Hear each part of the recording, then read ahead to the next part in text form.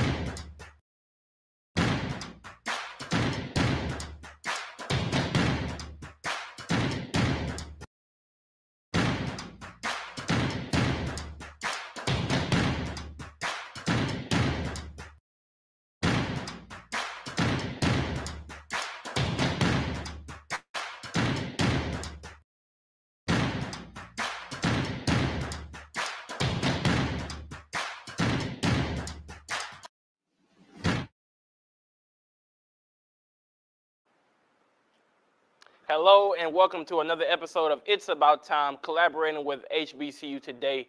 And as you can see, today is a special episode because we have the one, the only, Dr. Ruth J. Simmons. Thank you for joining us today. Let's let's give her a hand clap, yes? Thank you. Thank you. Now, now, Dr. Simmons, as we get started, uh, it's been a, a usual segment on this show that I want to give. I like to give people their flowers because oftentimes, you know, the old saying is they don't get their flowers before they can smell them. So I want to take this time to give you your flowers. But I feel like I wouldn't be able to do you the the the good justice of it. So what I did was, along with my team, was go out and film people and get their perspectives on your presidency and what you mean to this campus. So we're gonna take this time and, and toss it to that video right now. Okay, thank you.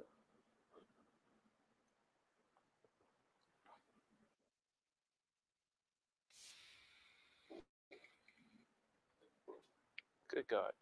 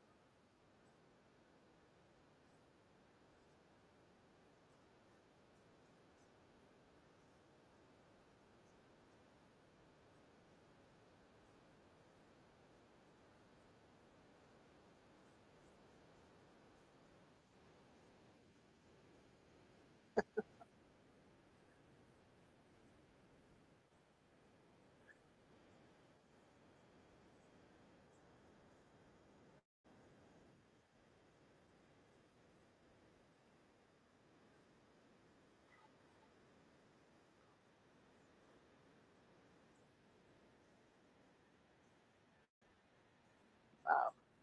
That's nice. Thank you. Of Thank course, you. yes, ma'am. Thank you.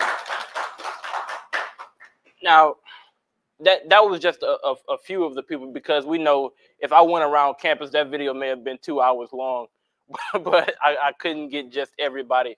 But one thing that I did want to say personally, Dr. Simmons, is that, and this is a kind of an indirect effect that you have, is that you have empowered the faculty.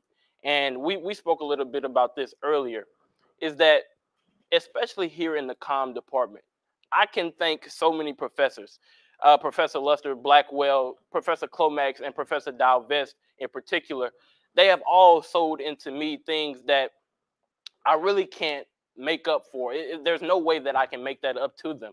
And that comes back to you because it starts with the head, right? There needs to be someone who sets the tone for that philanthropy, sets the tone for that heart for the children, sets the tone for that heart for education. And that starts with you. So I really just say thank you for all that you've done, all that you mean to Prairie View. I mean, it's an understatement to say that we're gonna miss you. But um thank you again for all that you've done.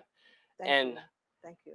Yes, ma'am. Now, before I want to get into this to this next segment, but um, before we get into that, we talked a little bit about how you serve with the president, and I want you to kind of detail that for our audience here today.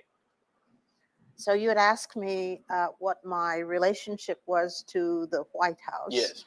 And um, sometime now, every president in recent history has had a committee um, uh, on HBCUs. Uh, and so uh, people are appointed to that committee uh, to serve in the interests of HBCUs. And what it does is recommend directly to the President of the United States what needs to be done hmm in order to fortify and advance uh, HBCUs. Right.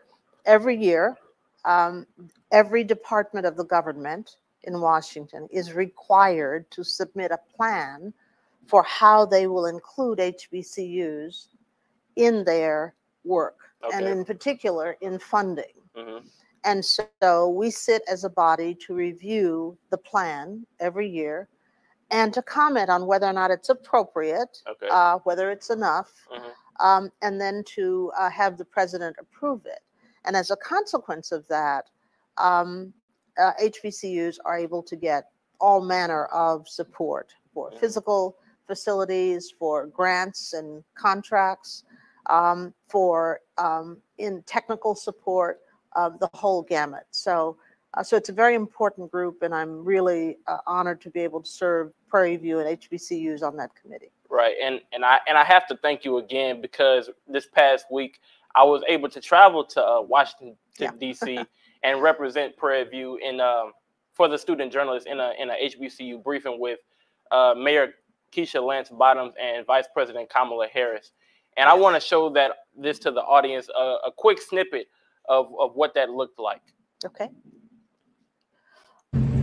This is Caleb Carter from KPVU TV, and as you can see, we're here at the White House. And let me tell you, today was an amazing experience.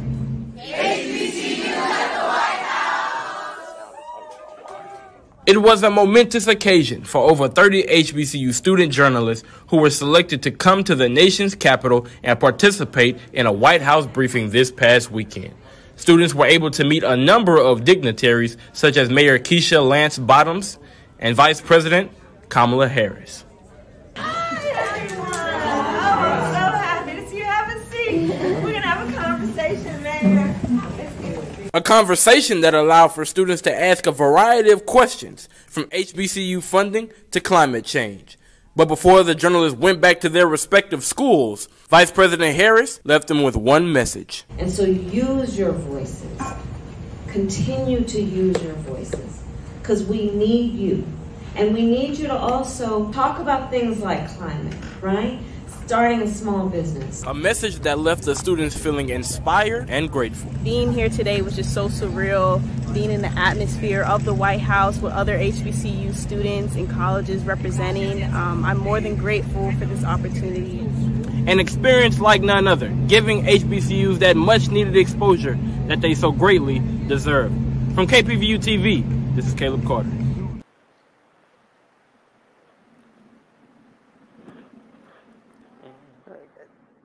So I have to say thank you again for that for that opportunity, and hopefully I represented Prairie View well because one thing that I learned going down there is that Prairie View has a name, right? It, I mean, we're we're not just some run of the mill university. Prairie View has a name and it holds weight, and and that is greatly in part because of what you have done here. So again, I have to say thank you for that. I'm glad you were able to enjoy that experience, and I know that um, it will mean a lot to you, not just now, but uh, well into the future during your career to have had that experience. And that's what I want for all of our students to have the ability to go out into the world and to have the kinds of experiences that will expand their world Right. and make them much more um, uh, uh, much more able to enjoy the benefits of their education. Right. And and I kind of want to touch on that because I would like to know where does that heart for for the children and heart for education comes from? Because although we, we tend to think that philanthropy is normal, it's it's really not common.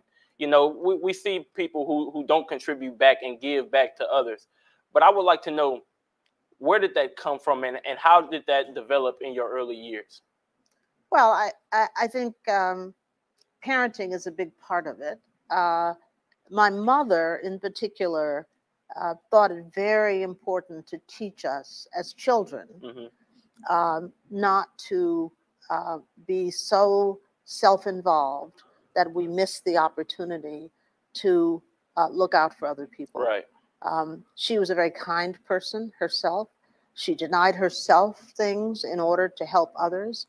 And that was the model that we had. But more than that, I have to say that, you know, my family was very, very poor Mhm. uh, and um, didn't have the means to do most things. I remember when when we went to school and we had to have something, um, some equipment or um, uh, or any item, um, trying to figure out in my family how to come up with that was a major undertaking Okay. and often we couldn't. And so, as you might imagine, for any child um, uh, like that, when teachers step in and help you, hmm uh, because for no reason other than they wa- want you to succeed, Right. that leaves a lasting impression on you. hmm And so, all the way through school, from elementary school through junior high, through high school, really, um, teachers, plural, Right. uh, reached out to me. I had a, a middle school teacher who hired me to clean her house when I was in middle school, and that was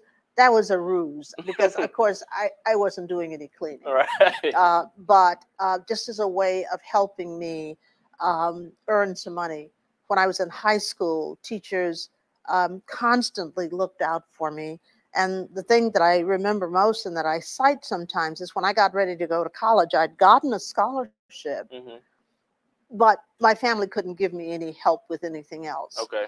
And so um, uh, one of the teachers asked me to come over to her house to help with cleaning. And I went over there, and it wasn't really that I was to clean at all. She asked me to go into her closet hmm and take clothes from her closet so that I would have some clothes to take to college. Wow. How could you do anything but look out for other people if people have been that kind to you? Right. and so i always i always remember that and i feel so um, i'm not sitting here today because of any remarkable thing i've done i'm sitting here today because people created a path for me Right. out of pure generosity Right. and i never want to be the kind of person who would forget that Right. And and we definitely thank you for that. And and it's very much evident in the way that you carry yourself.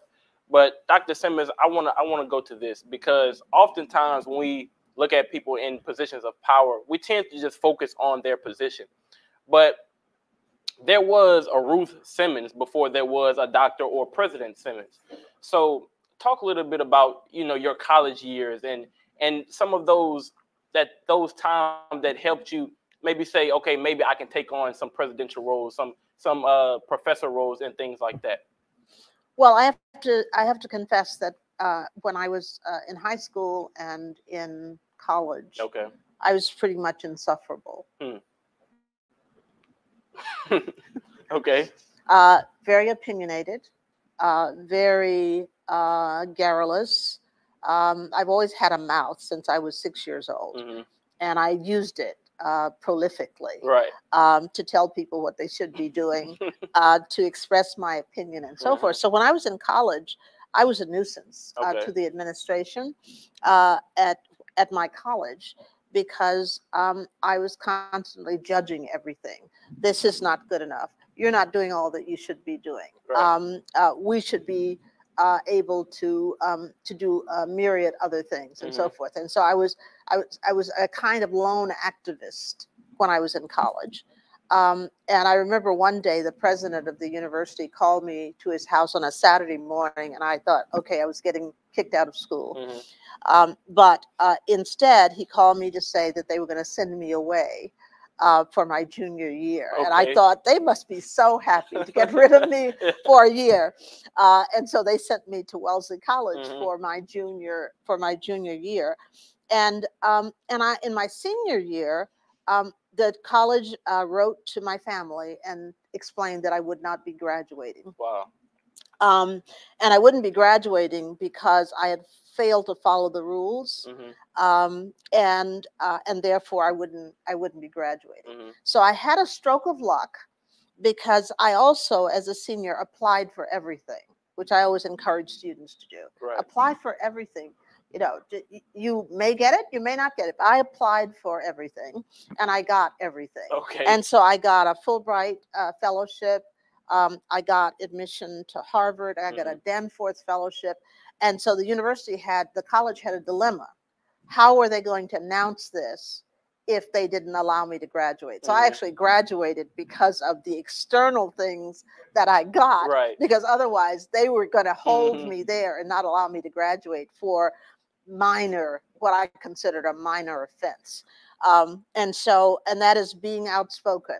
And that's why I defend my students when they say things or do things that some grown up thinks is not appropriate. Right. Okay. Because what you're doing is readying yourself to stand up hmm for the things that you believe in. Right. And I was doing that when I was a teenager. Uh, I wasn't very successful at it because people didn't like it very much, and I sometimes got punished for it.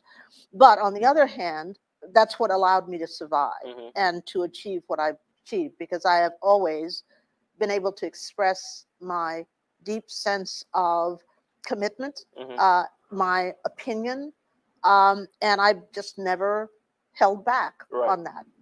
and and we're again grateful for you being that way because more than anything what we have learned in society and just in life is that you have to stand on your morals. You have to stand up for yourself when things aren't going the way that they're supposed to.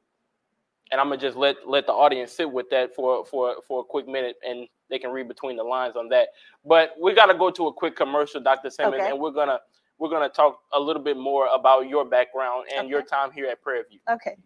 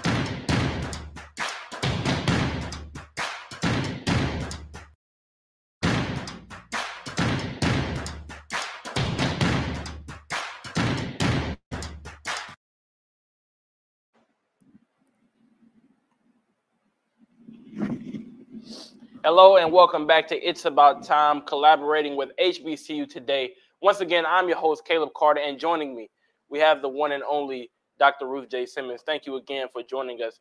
But Dr. Simmons, we talked we talked a lot a bit about the past just just now before the commercial break.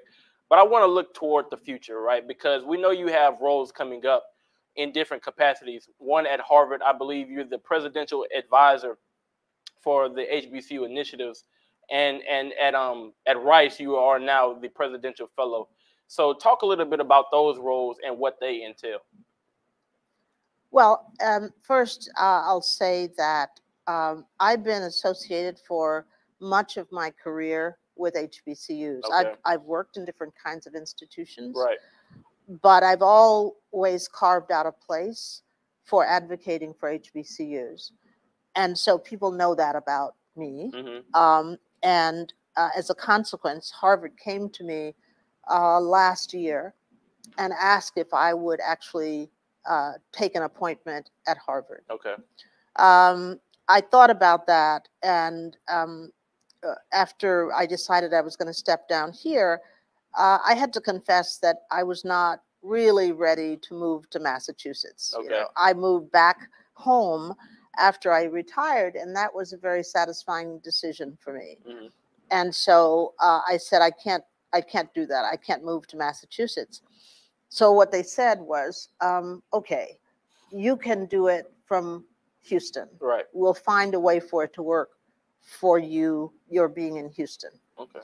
At the same time, the president of Rice was aware that Harvard was making me this offer and thought that it would be appropriate for them to offer me a place to work. Mhm.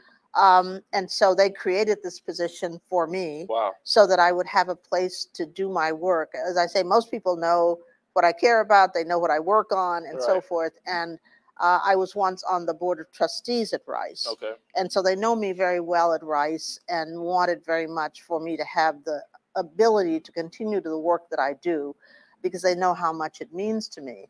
So I'll be a, a presidential fellow Okay.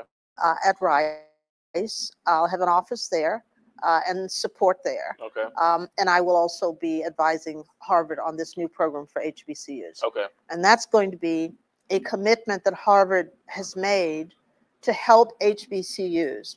Because what I argued uh, to Harvard is that Harvard, you know, is over 300 years old. hmm And um, they started with uh, a great deal of wealth to begin with, Right. but that wealth has compounded over centuries. Right. HBCUs have been starved Right. for the duration of their existence, and that that starvation um, and inequity has compounded hmm over time. And so my view is, which I express to the elite universities in the country, is you have an obligation to HBCUs Right. because you've benefited from all of the wealth that's been given to you and all the support that you've been given. Uh, and HBCUs have not had that privilege because you've not brought them into the circle of, um, uh, of uh, advantage that you enjoy. And so I have two projects. One is working with the AAU, the top universities in the country, hmm to um, form partnerships with HBCUs, and that is now set up.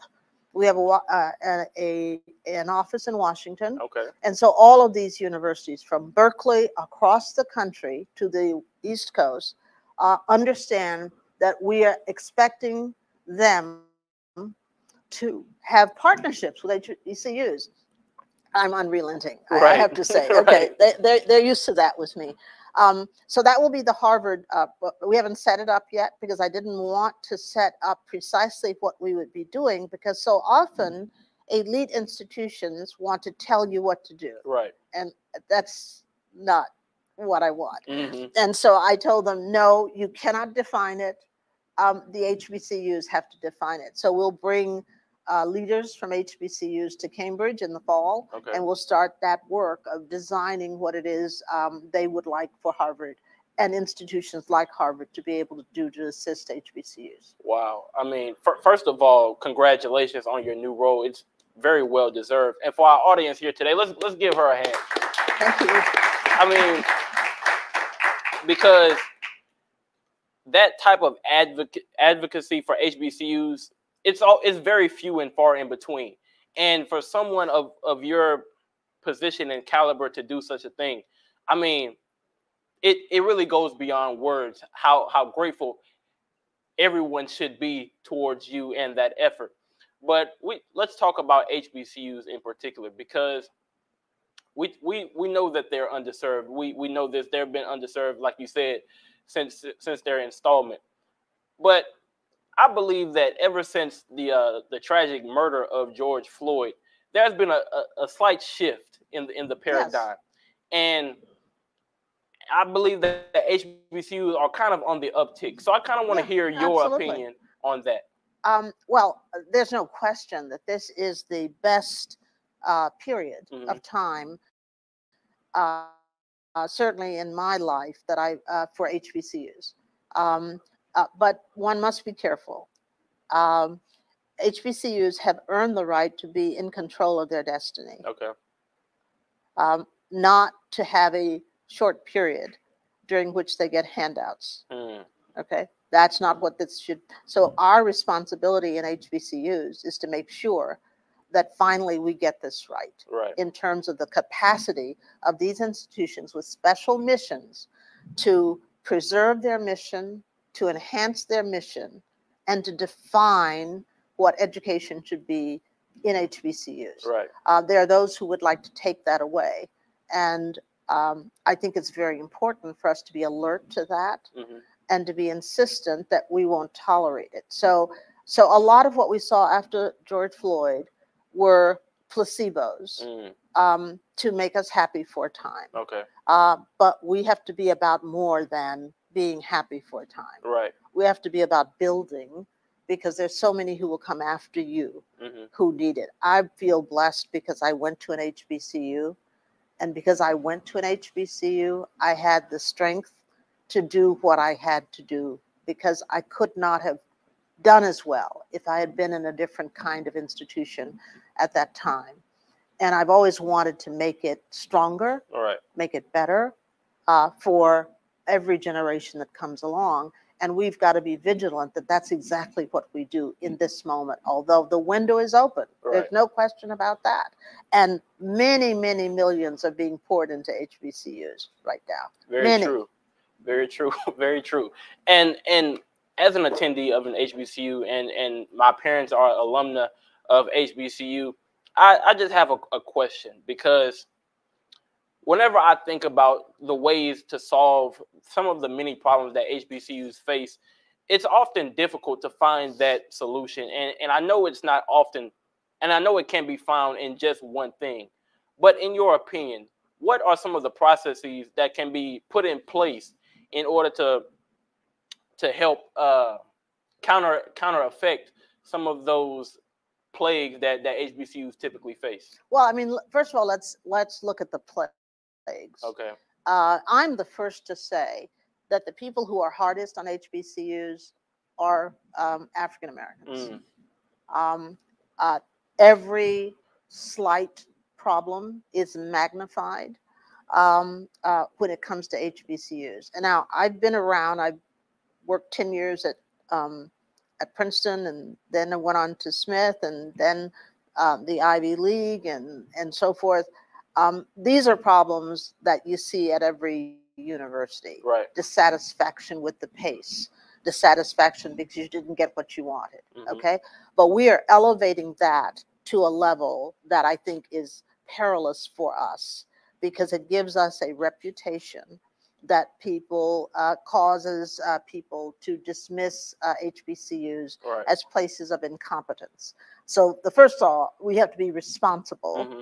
And judge what is important um, to cite and what isn't important. So, so that's number one. For in terms of resources, I often say that we have to be first in line to support HBCUs.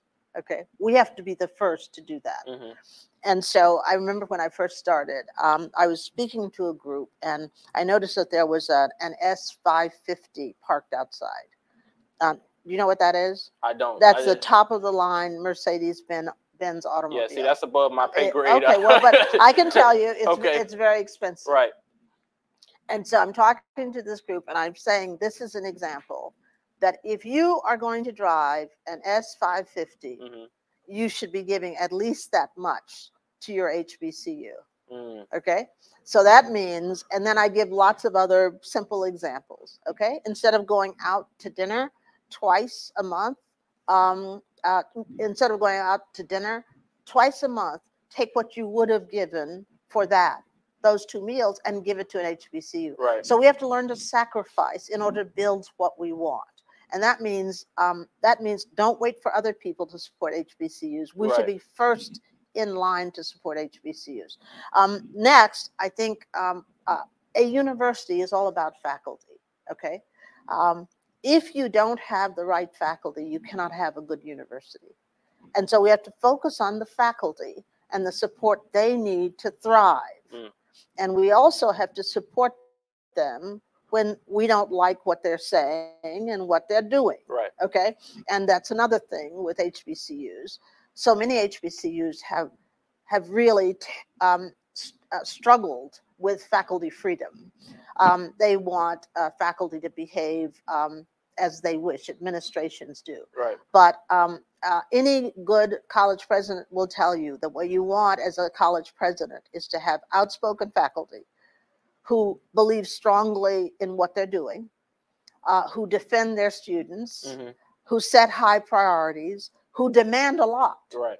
I used to say, um, as president, I don't mind a faculty member coming in and saying, I demand more Okay. okay because that's a sign that you have someone who has ambition and wants to take the institution somewhere Mm. so so i like faculty who are strong um, and then finally uh, what will make a good university is our students have to have a breadth of experience Mm. just a, an enormous breadth of experience my story is really all about that it's about the fact that i not only went to college but I had opportunities to do some of the most phenomenal things like you when I was a college student. hmm And so um, I, uh, I was able to study abroad. I was able to go to other universities um, Okay. uh, and learn at, in a different environment. I was able to travel and see things. And all of that had an enormous impact on my ability to make my way in the world. Right. So I always emphasize that students come to college, but that isn't all that they should be doing when they're in college. They Right. should be experiencing a range of things. Uh, and that's why I want these partnerships to matter because I want you to go to Harvard and spend time at Harvard um, and come back just I, as I did hmm uh, when I was uh, a uh, an undergraduate student.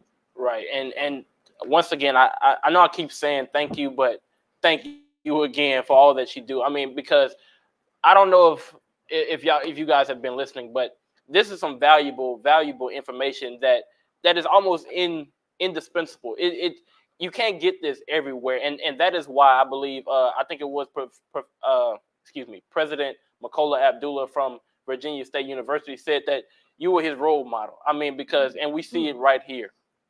But we're going to take a quick commercial break. We're going to step aside for a few minutes, and then we're going to come back and wrap up with the one, the only President Ruth Simmons.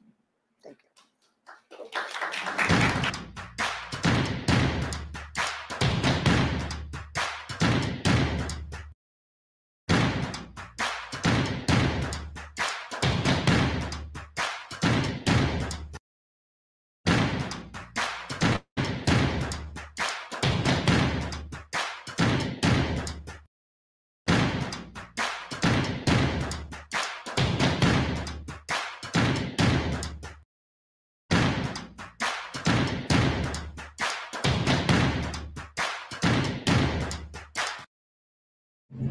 This is Caleb Carter from KPVU TV, and as you can see, we're here at the White House. And let me tell you, today was an amazing experience.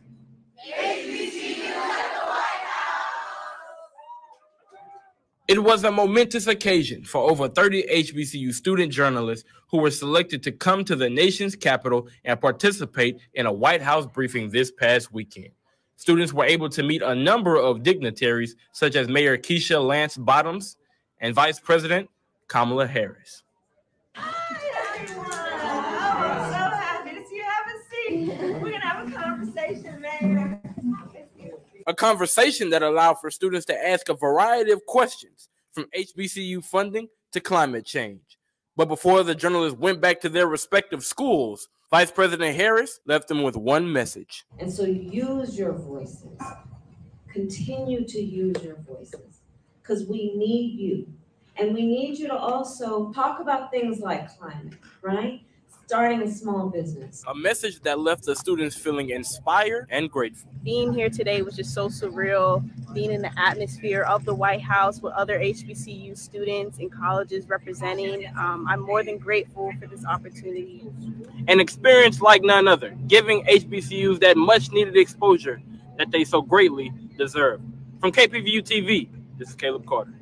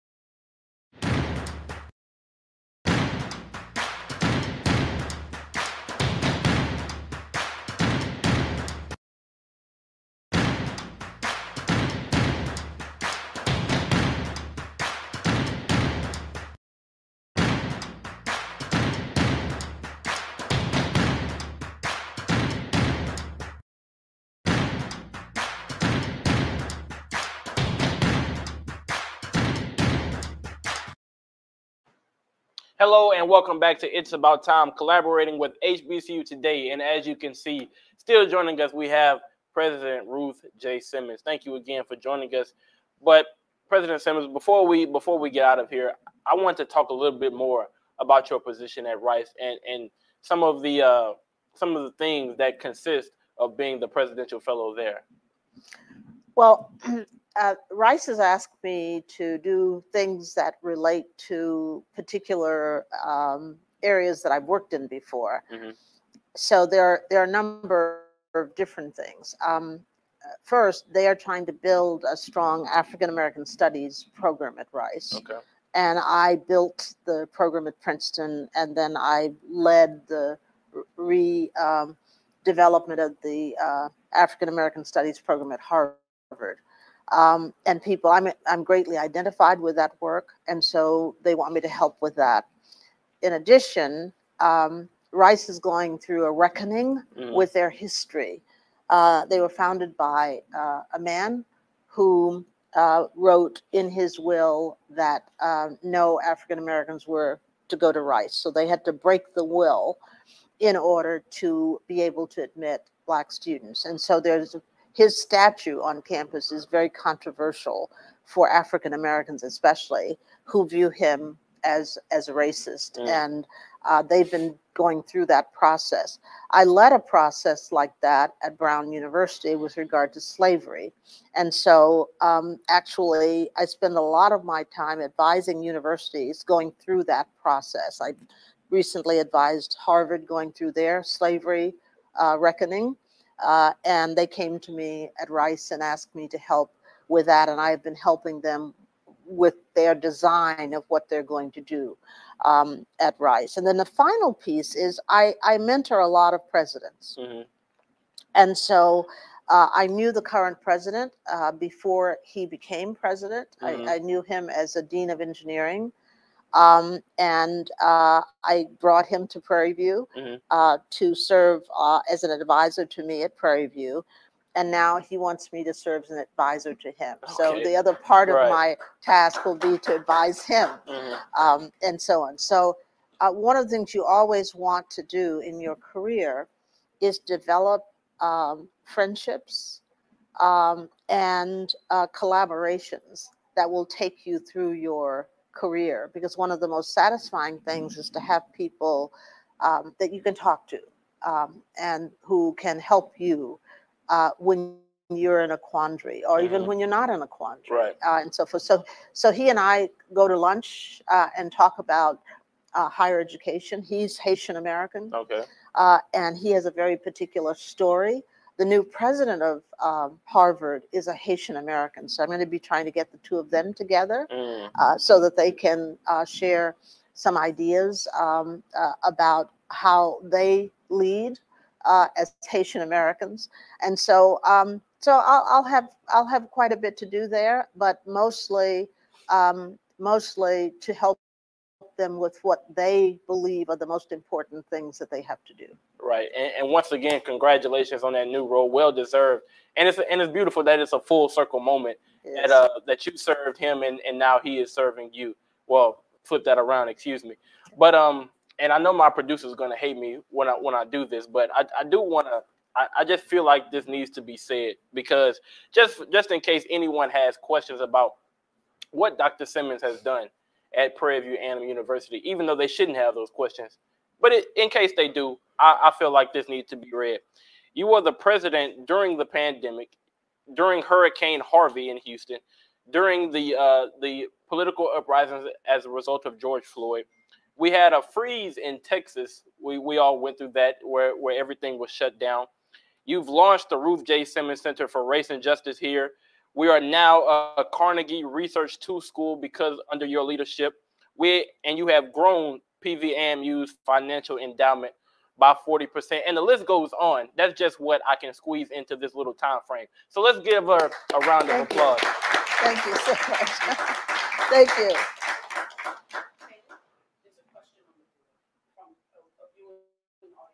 Okay, we're, I'm told we have a question on the board, and it says, if there was one word I, I, need my. If there was one word that the President Ruth Simmons could say to encourage our students, faculty, and staff for the future, what would it be? Certainly, um, believe. You can't do much if you don't believe. Um, and so, believing in this place, believing in yourselves, believing in your capacity, no matter what you see, no matter what you hear, that will keep you going and that will keep you rising if you do that. But you've got to have that strong sense of belief in what you can accomplish. Well, thank you for that. For for, for those, yeah, we can go ahead. We do need to make sure that we believe, and we of course believe in you and all that the good work that you're going to do at Rice and along with Harvard. And I have to say this we we are all, I believe, we're all rooting in the best interest of PVMU and our new president, Dr. Tomikia LeGrand. But we still have to say thank you and give our gratitude for all that you have done for us. So I couldn't let that I couldn't let this show in today without saying that again. And thank you again for joining us today. Thank you. Thank yes, you. Yes, ma'am. Thank you. and this has been another episode of It's About Time, collaborated with HBCU Today. That was President Dr. Ruth J. Simmons, and I'm your host, Caleb Carter. Thanks for watching.